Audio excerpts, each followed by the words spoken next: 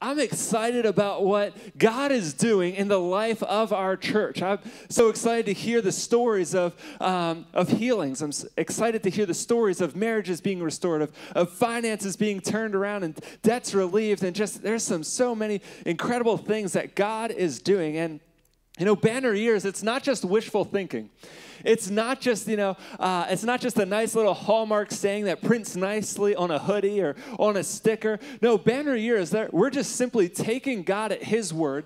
We're, t- uh, we're looking at the promises that are all throughout His word, and we're, we're choosing to accept them in our lives, and we're just going to walk them out in our life. Psalm 84 11 tells us that for the Lord God is a sun and shield. The Lord bestows favor and honor. No good thing does he withhold from those who walk uprightly. So, man, I'm fired up. I'm ready to go today. I'm excited to, to be talking about uh, 52. It's the series that we're in, talking about 52 to a new you. Come on, everybody say 52. 52 to a new you. If you've missed any of the messages, I highly recommend that you check out the church website, look on YouTube, uh, listen to the podcast, however you take in uh, the message, whatever works best for you. Go ahead, check that out, and uh, and catch up with the series. It's been it's been amazing. Basically, what we've been talking about is we've been talking about the life of Nehemiah. Nehemiah was a cupbearer for the king of Persia. But when Nehemiah hears about uh, the state that Jerusalem is in, he, he kind of gets this, this personal conviction. He gets kind of this, this vision for his life, and he realizes that, that he needs to leave Persia and he needs to go back to Jerusalem in order to help rebuild the walls.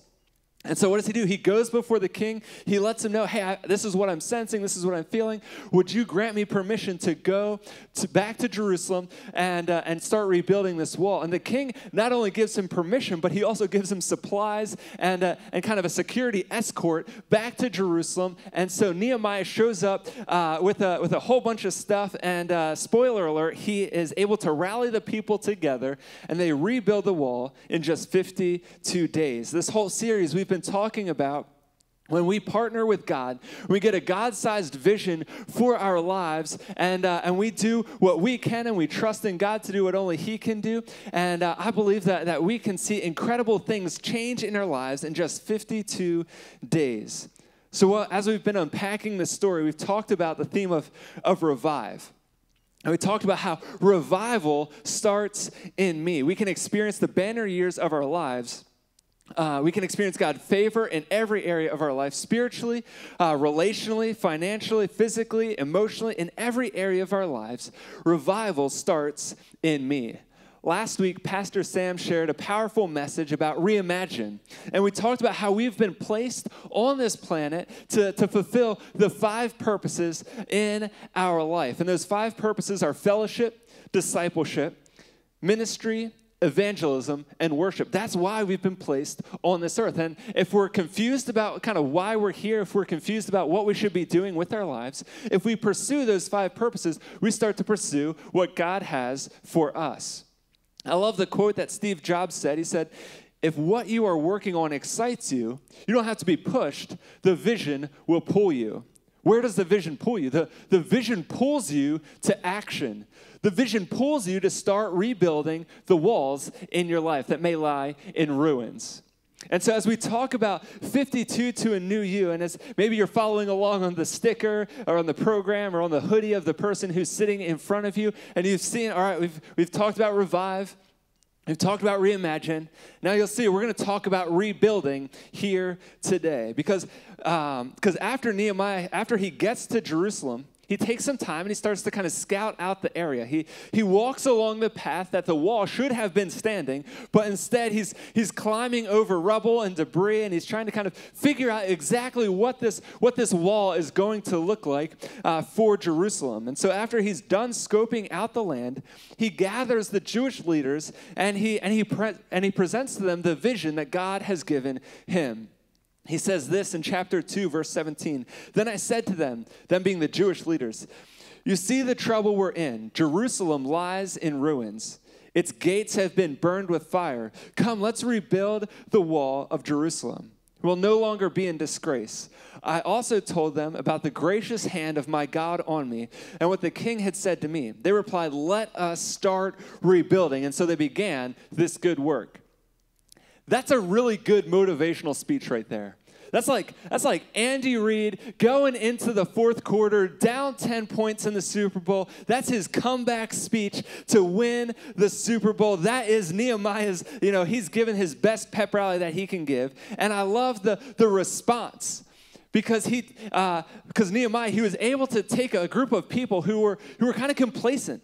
They were just kind of okay with the fact that, that the walls were lying in ruins. They hadn't done anything about it. And Nehemiah takes them from a place of complacency to a place of, all right, let's start rebuilding this wall. Let's make this happen. You see, vision pulls you. It was a God given vision that pulled Nehemiah out of his comforts as a cupbearer to the king of Persia into a foreign land that his, that his ancestors occupied with, a, with walls that were lying in ruins. It was a God given vision that, that Nehemiah shared with the Jewish leaders that, that rallied the troops, that, that brought them together in order to serve a greater vision. You see, vision pulls you. Sometimes it pulls you out of your comfort zone. Sometimes vision will pull you into great leaps of faith.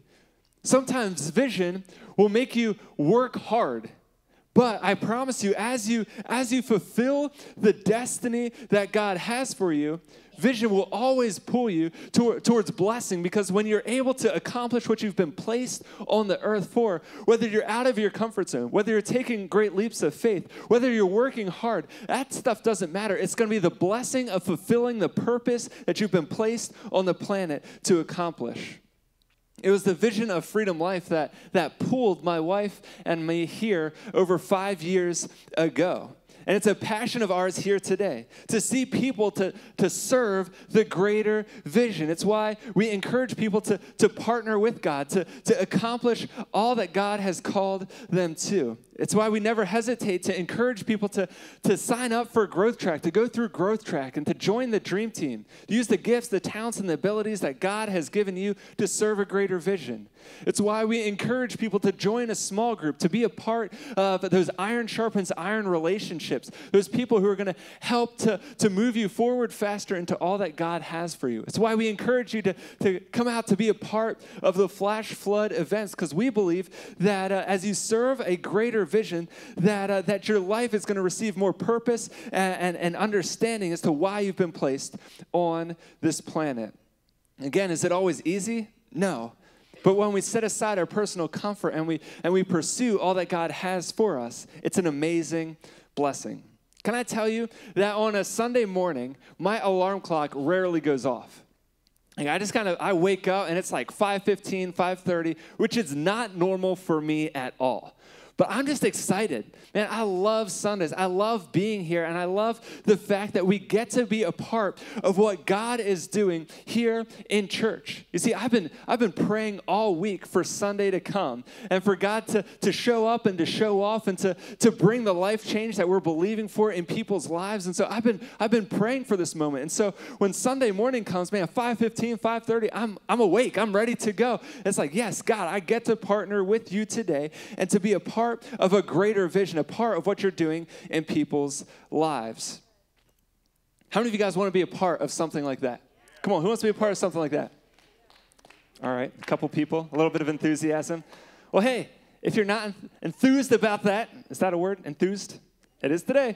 All right. If you're, I'm sticking with it. If you're not enthused about it, join in, be a part of Growth Track. It starts next week. You're going to hear about uh, a little bit more of the vision of our church and, and about where we're headed. And man, it is it is an exciting time to be alive. A couple weeks ago, we talked about uh, we had Vision Sunday, and we talked about hey, we're not just we're not just uh, you know here to to build a new building. No, we're building an ark for the saving of generations. We get to be a part of what God is doing. And man, we get to leave a lasting legacy that's going to go far beyond our life here on earth. We get to spend time in eternity hanging out with people who we never met here on earth, but because of our generosity, because of our willingness to give of our time, our talent, and our treasure, there are going to be people who are in heaven because of what you sow and what you invest here today. And so that's the kind of vision that I want to be a part of. I want to be a part of a vision that, that I can't accomplish on my own. Man, that's boring. If you live a life for a vision that you can do on your own, that's boring.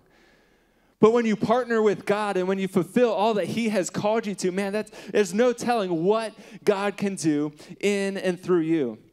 My goal is I want to be able to live full and die empty. I want to go out swinging for the fences. Like I want to be able to be used by God, and I want to, you know, I'm going to work hard and do my very best. But I'm also going to rely on God to show up and, and, to do what only He can do and bring it all to fruition. Proverbs, Proverbs 29, 18 reminds us that where there is no vision, the people perish. I believe with all my heart the importance of serving a greater vision. If you want to live your life on purpose and for a purpose, you have to serve a greater vision, not just a vision for your own life, but a vision that's going to make a difference in the world around you.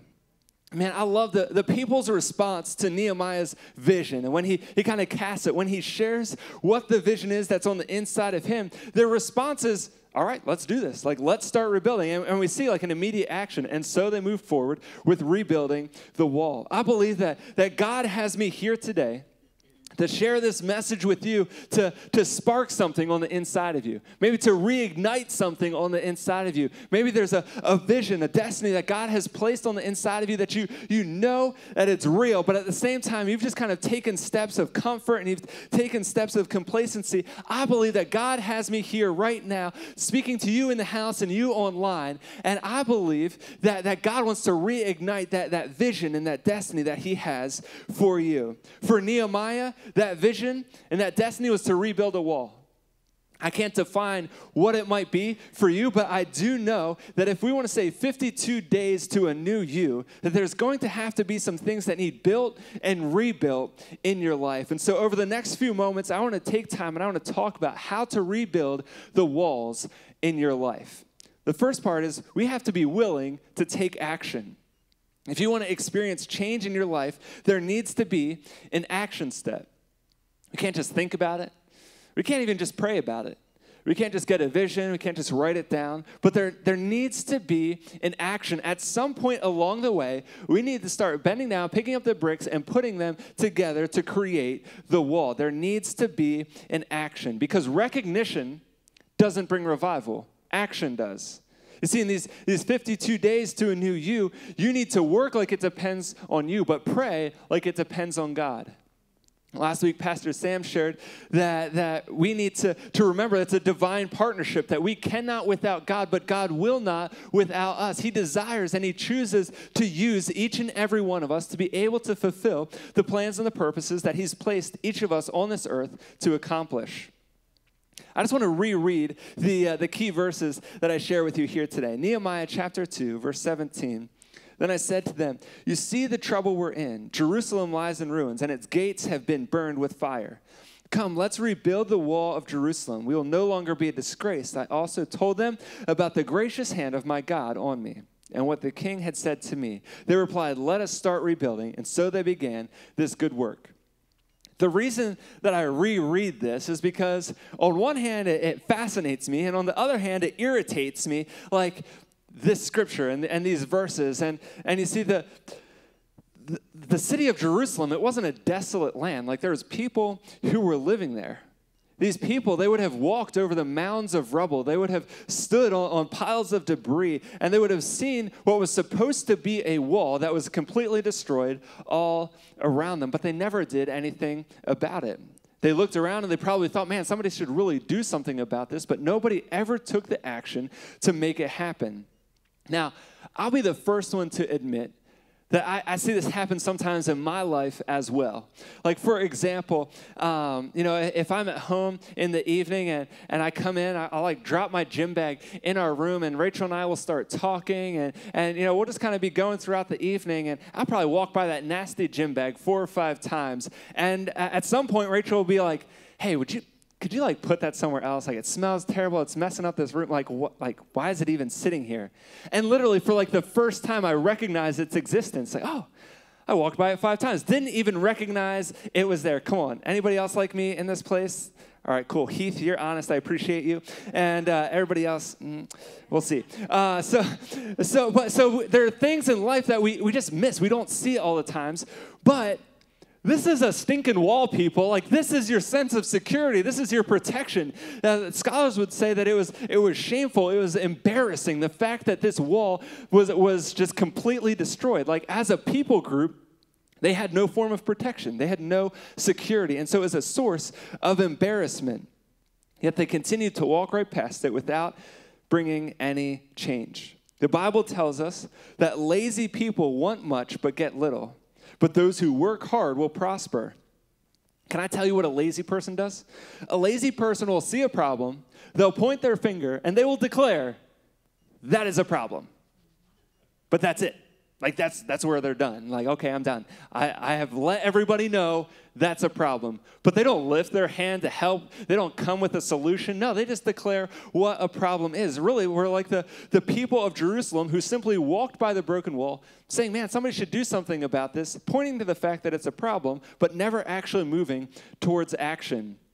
I want to encourage you to think, just be, be introspective. What are those things in maybe your life that, that needs to be rebuilt, that you've just kind of been complacent with, that you've just become comfortable with? Maybe God has me here today to share that with you, that maybe there needs to be an action, that there needs to be a rebuilding in your life. Maybe it's your family or your community. It's easy to point out the problem, but not everybody takes the step to start rebuilding. It's interesting. Uh, the, the whole nation of Israel was being led out of Egypt uh, they were being led out of captivity from Egypt and they were, they were marching towards their freedom. And in the process of going towards their freedom, they, they, they kind of come up against the Red Sea as they come up against the Red Sea, they kind of turn back and they recognize the fact that the Egyptian army is, is kind of coming up behind them and they realize what happens and they're trying to get the Israelites back into captivity. So they're chasing them from, from behind and, and you've got the Red Sea in front of them. And what does the whole nation of Israel do? They don't get creative. They don't, all right, let's put our minds together. Let's figure out like what we can do in order to get across the Red Sea. Let's build a really big boat. Noah did it once. Let's try it again. Like they don't they don't come with creative solutions. What do they do? They point a finger at Moses and they say, "This is a problem. You let us out of here, like you let us out of Egypt." And so that way we can die in the desert. Like, what are you going to do about it? Come on, do something. And it's Moses who actually takes the action, who's, who steps forward, who has that divine partnership with God. And so he, he stretches out his arms over the Red Sea, and God shows up and he parts the waters of the Red Sea, and the Israelite uh, and the Israelites are able to escape the Egyptian army, walk through the sea, and move into their freedom. It reminds me of, of David's brothers. Again, part of the, the Israelite army, but, but this time they're faced with the, the, uh, the Philistines who are in front of them. And so they're sitting around, David's brothers, they're sitting around, they're complaining about this massive, this giant problem that's in front of them by the name of Goliath while they're sitting around their campfire and, and complaining and talking about how, how big their problem is, David shows up on the scene. He's like, All right, what do we got here? We got a couple rocks. All right, put them in my pocket. I've got a sling in my hand. Let's go kill this Goliath. And, uh, and so he shows up and, and he brings freedom to the Israelites again from the, from, the, uh, from the Philistine army. He brings freedom because of his willingness to partner with God and to take action in his life. Now, these guys, they're not perfect, they have their flaws. But they're remembered thousands of years later because of their divine partnership with God and their willingness to take action. You see, 52 to a new you, it's going to take action. It's not, you're not going to be able to be content with the status quo. You're going to have to move forward into all that God has for you. To rebuild the walls, you have to be willing to take action, but you also have to be willing to use your influence. Nehemiah, he was obviously a man of influence. He was a cupbearer to the king of Persia. Now, honestly, when, when I first, like, you know, the first bunch of times that I read that, like, I was like, all right, cool, he's a cupbearer. And, like, in my mind, when I think of a cupbearer, I think of, like, this dude who shows up only when called for, like, hey, the king's thirsty. Okay, here comes the cupbearer. He brings out, you know, the king's favorite cup. It's got some water in it. And he, he runs up to the king. Here you are, sir. You know, the king takes a sip. He grabs the cup, runs back into, like, the dark parts of the castle where he's never to be heard or seen again until the king's thirsty again. Like that's just kind of the, the picture that I get of a cupbearer. Maybe I watch too many movies, I don't know what it is, but that's just kind of the mental picture that I get of a cupbearer. But as I was going through this and as I was kind of researching what that meant for Nehemiah, I realized that, that a cupbearer is actually a really influential part of, uh, of the government. Like he was actually like the number two in command. He would have been considered like a prime minister of the land. So it was like a really high government role that Nehemiah was in. And so Nehemiah, he understood the influence that he had on his life. He used that influence to, to leverage to be able to, to talk with the king of Persia, to not only, you know, get the freedom to go to Jerusalem to rebuild, but he also, he doesn't come empty-handed. He comes with everything that he needs in order to start the process of rebuilding the wall. Again, he understands influence. And so when he goes to Jerusalem, he doesn't just get like, hey, all right, I'm just going to shout really loud from you know a couple of these stones and see who shows up. No, he gathers some of the the the, the leaders in Jerusalem, some of the, the Jewish leaders. He calls them together and he and he casts the vision first to them because he understands that they're people of influence in that city. And so when they take that vision and they spread it then amongst everybody else in the city, that the vision is going to be cast and there's going to be greater buy-in for everybody involved. And so he is a man who understands influence. And you may be sitting here today and you may be thinking, man, that is awesome, Jason. That's great for Nehemiah. He's number two in the land. That's cool. I'm not some prominent member of society, though. Like, I don't have influence in my life. And I just want to take a moment and I just want to say to those of you who are a committed follower of Jesus that you could not possibly be more wrong. You see, you're a child of God.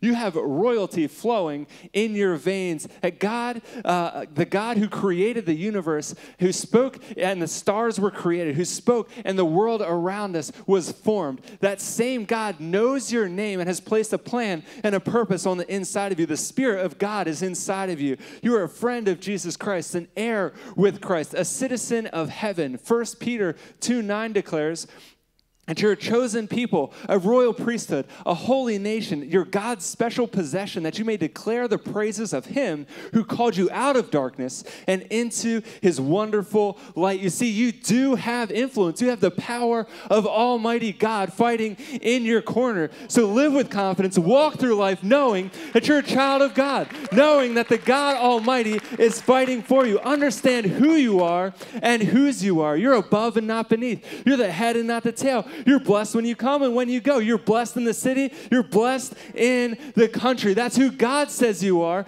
And so walk with the understanding, knowing who He says you are and what He will do for you. You see, you do have influence.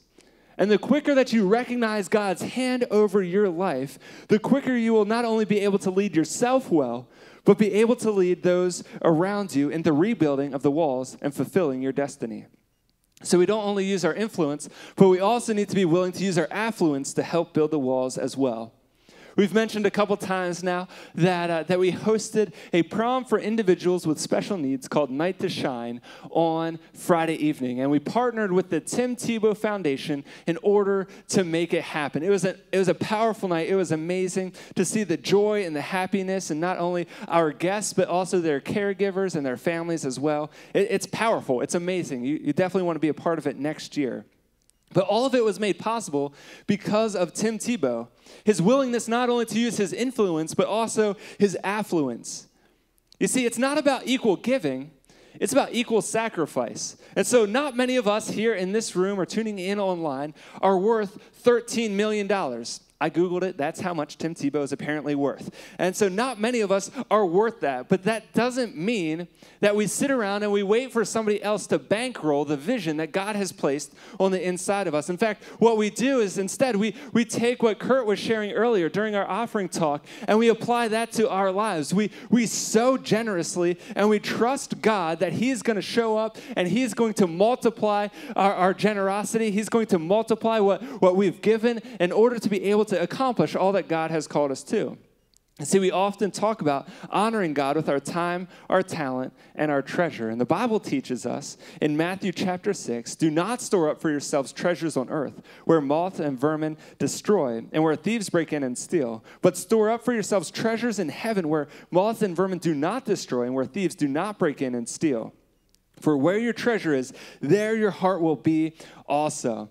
Again, it's that divine partnership with God. As we, as we begin rebuilding the walls in our life, it's going to take an investment, but it's storing up for ourselves treasures in heaven. This past week, uh, I started preparing my taxes, which is terrible. I hate doing this. But, you know, I, I have to be a good, responsible adult. And so I started preparing the taxes. And so I'm going through everything. And I, I came across my giving letter from Freedom Life, and it just kind of showed how much that I had given throughout the year. And I'll be honest, I know that there are people who would look at that and they'd see how much, you know, my wife and I make, and they'd be like, why on earth would you give that much of your, of your salary away? Like, why would you give that much away? And, and honestly, I looked at it and I thought, man, that's it. That's all I get, man. I wish I could have given more. I wish I could have done more because I understand that, that as, as we give of our time, our talent, and our treasure, that God sees that and, and, and God is moving in the life of our church and people are streaming to the goodness of God. It makes every early morning work uh, or wake up worth it. It makes every early morning that you know that we get to, to serve using our gifts and our talents that God has blessed us with. It makes it worth it. It makes every dollar given worth worth it because it's people who are going to be in eternity because of our generosity. I want to be a bigger part of what God's doing in the life of our church. I wouldn't trade it for the world. You see, when we use our affluence to rebuild the wall, it's a, it's a way of becoming more dialed in. It's a way of being more invested into, uh, into what it is that God has called us to. I know it's true of my life, and I know it's true of your life as well. Here's kind of a, a funny example that I've realized, uh, kind of from my role as, as, campus pastor. I have the opportunity to kind of help with some of the different events that we host as Freedom Life, and and sometimes we'll, we'll do some different events and we'll encourage people to pre-register just so that way we can get a head count of, you know, how many people we need uh, for childcare, how much food we need. And, you know, the cost is free, but we just need to, to pre register. And a bunch of people will pre register, they'll sign up to be a part of it. But then, you know, there's no investment there. And so when something comes up that night, like, ah, don't worry about it. It didn't cost me anything. And so not as many people show up as had pre registered. If you change that event and you just put a $5 uh, price tag on it and just say, hey, just uh, five bucks that'll go towards food, 98% of the people who pre registered will show up. And it's not a knock on anybody, it's just simply how we're wired. When we give of our time, our talent, and our treasure, when we use our affluence to go towards something, we're more invested in it. It's something that, that we want to see through to the end. What did Nehemiah do? Nehemiah took all the chips that were sitting on the table, he pushed them to the middle, and he said, I'm all in. Let's do this thing. Let's rebuild this wall. You see, we must be willing to take action.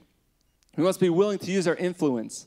We must be willing to use our affluence, and we must, and we must be willing to partner with others. You see, we're relational beings.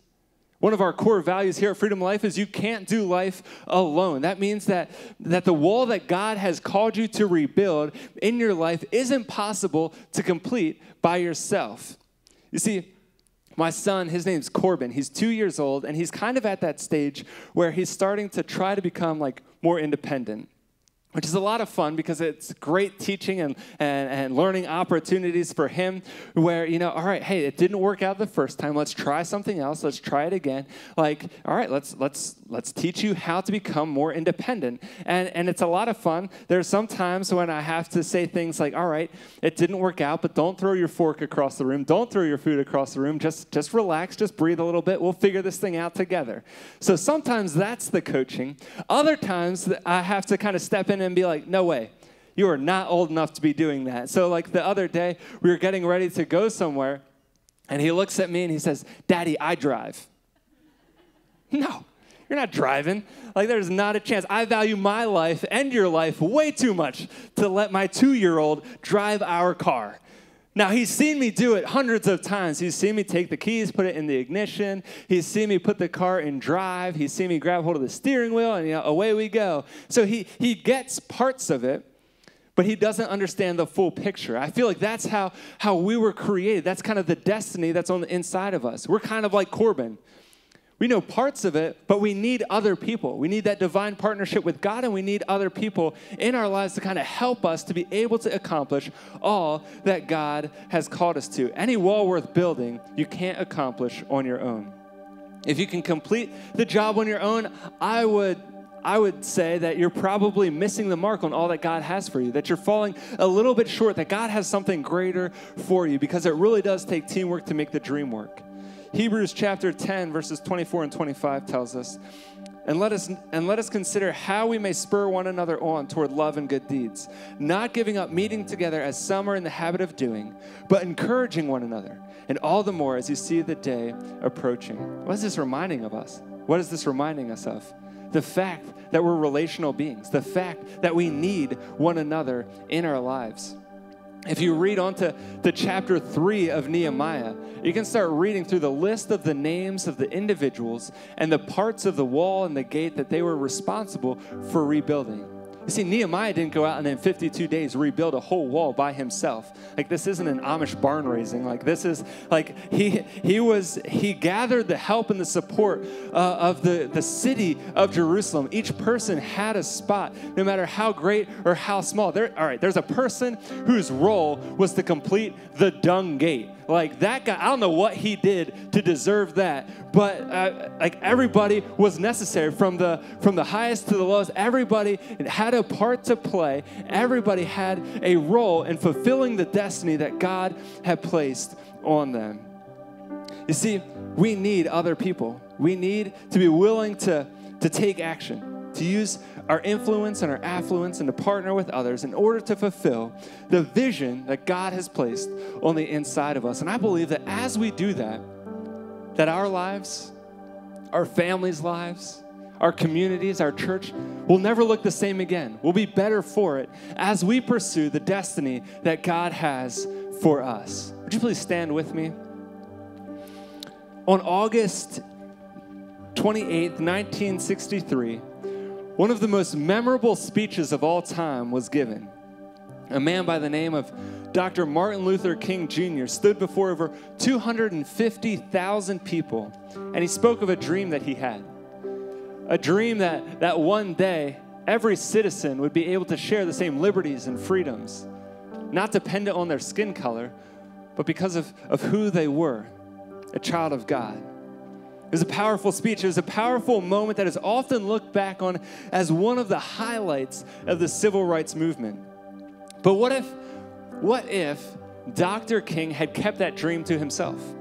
What if he said, This is mine? Like, I'm supposed to do this. I'll, I'll just kind of do this on my own. Or, or maybe what if, what if he is just like, Hey, listen, people aren't going to listen to me.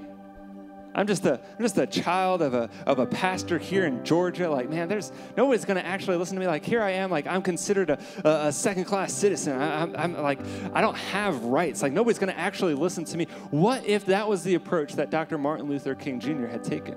Our world today would look radically different. I believe that there's a there's a dream, there's a vision on the inside of you that needs to be released, that you need to share with people, that you need to that you need to take an action. You need to gather people. You need to have the divine partnership with God. And I believe that as we do that, our lives will never look the same. Hey, thanks for tuning in to our online experience. It's our prayer that you experience the freedom and life that only God has to offer.